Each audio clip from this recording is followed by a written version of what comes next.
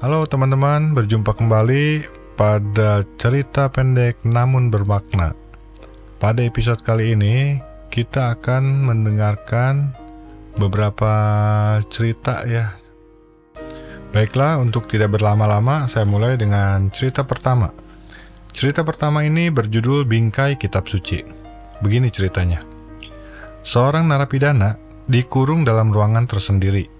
Kepadanya diberikan kitab suci sebagai satu-satunya teman. Maka ia mempelajari dengan tekun beberapa hal umum selama beberapa tahun. Lama sebelum penggunaan komputer, ia menemukan kenyataan-kenyataan berikut tentang kitab suci. Kitab suci memuat 3.500.086.000 489 huruf, memuat 773.692 kata, memuat 31.173 ayat, memuat 1.189 bab, memuat kata dan sebanyak 46.277 kali. Ayat-ayat yang diletakkan persis di tengah Alkitab suci adalah ayat 8 dari Mazmur 118. Surat yang terdiri dari semua huruf ditemukan dalam Esra 8 ayat 21. Ayat terpanjang adalah Esther 8 ayat 9. Ayat paling singkat adalah Yohanes 11 ayat 35. Itulah beberapa kenyataan menggembirakan yang, yang diteliti sang narapidana dari kitab suci. Tetapi kita tidak diberitahu dalam bagian mana pun juga bahwa pesan Alkitab suci bahwa pesan kitab suci telah menyentuh hati sang narapidana.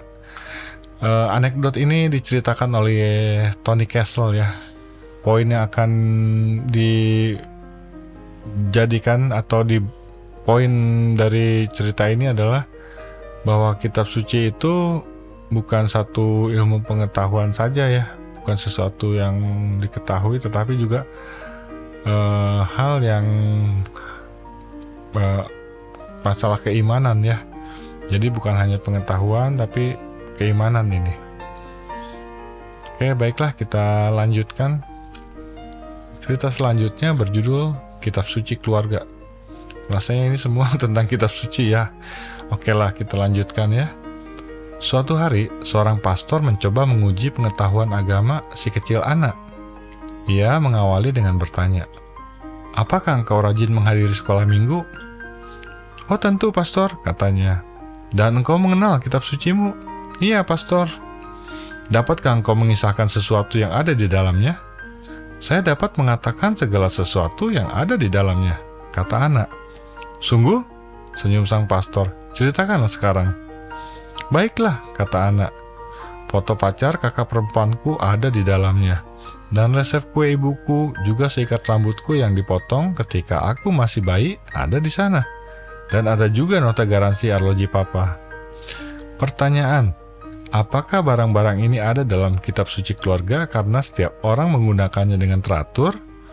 Atau karena tidak pernah digunakan sehingga barang-barang itu aman untuk diletakkan di dalamnya? Cerita ini dikisahkan oleh Tony Castle. Oke, menarik ya.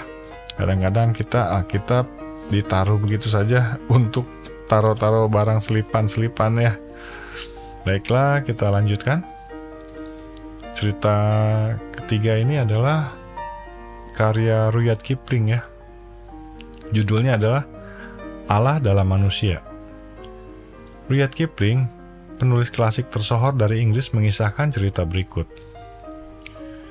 Pada suatu saat, ketika para dewa baru muncul, mereka tidak mempunyai nama mereka cemburu kepada manusia karena manusia masih sangat baru sehingga tanah liat yang dengannya manusia dijadikan masih basah dan lembab. Tetapi manusia malah menyatakan dirinya bahwa ia juga semacam dewa. Mendengar itu, para dewa yang lain merasa tidak senang. Mereka ingin mengambil unsur dewa itu daripadanya. Maka pada suatu malam mereka datang dan mencurinya mereka bermaksud menyembunyikannya di suatu tempat yang tidak mungkin dapat ditemukan oleh manusia. Tetapi hal itu tidaklah mudah. Jika mereka menyembunyikannya, Di mana pun di atas bumi ini, manusia dengan sifat ingin tahunya pasti akan menemukannya kembali.